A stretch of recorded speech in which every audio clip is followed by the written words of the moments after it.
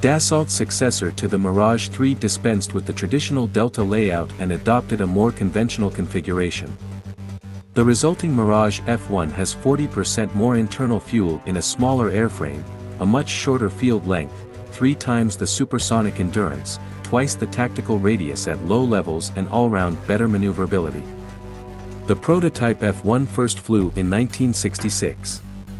The F-1C all-weather interceptor reached l'Armée de l'Air units in 1973, and when production ended in 1992, some 762 aircraft of all versions had been built.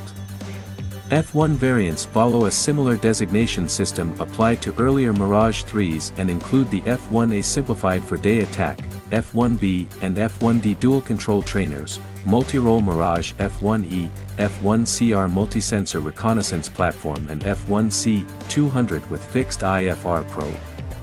The arrival of the Mirage 2000 saw the conversion of surplus F-1C airframes to F-1CT standard as tactical fighter bombers. The F-1 was exported widely and has seen extensive combat with the majority of its operators. Conflicts have included the Persian Gulf tanker war, during which Iraq's Exocet-armed F-1EQs attacked oil tankers in international waters, South Africa's externals into neighboring countries and Desert Storm. The F-1 remained in widespread service in 2001. France operates two squadrons each of F-1CRs and F-1CTs, a conversion unit equipped with trainers and a small detachment of F-1C interceptors for the defense of Djibouti.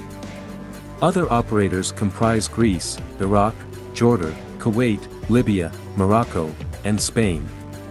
Jordan's elderly F-1CJs/EJs are being replaced by F-16s.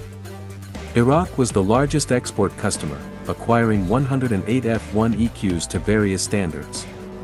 The remaining significant operator is Spain, whose force of F-1CE-F-1EEs has been augmented by 12 ex-Qatari F-1EDA-DDAs.